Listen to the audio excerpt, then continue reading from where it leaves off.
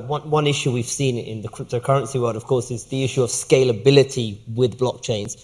Um, and you talked about the internet, and and one of the, one of the, the, things that strikes me is how much of an issue are we going to have with the interoperability yeah. of blockchains in banks? So you know, if if one bank says, "Hey, I'm using this," another says, "I'm using this," and, yeah. they don't work, is that going to be a big challenge? It's it's still. I, I like the, the comparison with the internet. I think we're still in the phase of AOL because it's uh, for the banks it's more a closed ecosystem. Mm-hmm. Uh, so I had a discussion 20 years ago with banks: should I put my e-banking in a, in a, in a more secured AOL or the other providers that's more secure on the public internet? I think we will go through the same discussion with banks that you see more private networks that don't have that scalability issue um, and, and, and try to. But you know, that's, there's a limitation. Limitation is that, as I mentioned before, if there are new ecosystem coming up that you have to team up with other industries, you're still locked in your uh, existing environment. From that perspective, I would say if you go into the public environment, scalability, performance, and cost of transaction is pretty high. And uh, this is the reason why I would say the game or the race, who will be the leading technology, is still open. I think we are still in Internet 1.0, and we, we know at that time you know, that the leaders uh, showed up at, um, I would say, Internet 2.0. And uh, so it's still opportunity for startup coming up with uh, um, game-changing technology to overcome those scale volume and, and cost issues. Big difference between the internet and blockchain. The internet was largely not for profit in terms of how it was engineered and, and the people working on the early internet. When we're talking about blockchain, there are so many venture capitalists, yeah. big businesses involved. Does that alter the type of blockchain we have, no, whether it's, it's, fit for purpose? It's, it's, a, it's a good question because at the end, I had a discussion uh, over the weekend at the DLD conference in, in, in Munich calling blockchain crypto killing venture capital.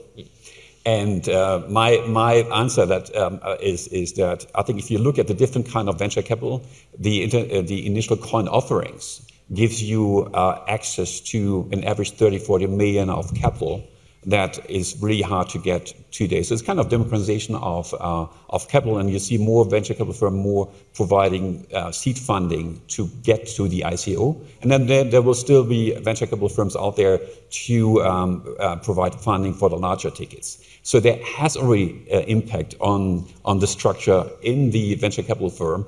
And um, the marketplace have to adjust, have to think about uh, where's the niche, uh, where you want to play. Just to build on Oliver's very good comment, I think the power of this technology ultimately is in, is in its ability to democratize and decentralize access to finance. And so while there is certainly a period right now where we're going to see some big winners emerge, down the road a bit, the beauty of this technology is it will open up many of the resources that have previously been limited to a relatively small ecosystem of venture capitalists and entrepreneurs and make those resources available on a much broader basis. And it's, it's a huge catalyst. Now, if you look at last year, 4.6 billion um, through ICO invested in startups. That was factor five higher than the equity part. So you can see that access to capital uh, is, is much easier. And then, you know, the whole catalyst, another catalyst, um, as you mentioned, is the, the, the open source. You utilize a community to develop the technology. And that is even uh, an accelerator of the development and speed from that perspective. So um, something that the previous years we didn't see. No? I, I think the amount of capital now going into uh, the blockchain technology. And then the other thing that you mentioned is I think that we have to stress is with Facebook, Google, we saw a very centralized business model coming up. We are moving in a totally different phase now with decentralized business model that, that there's a direct um, a relationship between the buyer and seller. Uh, uh, and, and, and so that will sim simplify the whole business. The key question will be then uh, the existing players, how they can change and adapt to the new setup. No? So uh, that's something that I can see already. Right. Hey there, thanks for checking out CNBC on YouTube. Be sure to subscribe to stay up to date on all of the day's biggest stories. You can also click on any of the videos around me to watch the latest from CNBC. Thanks for watching.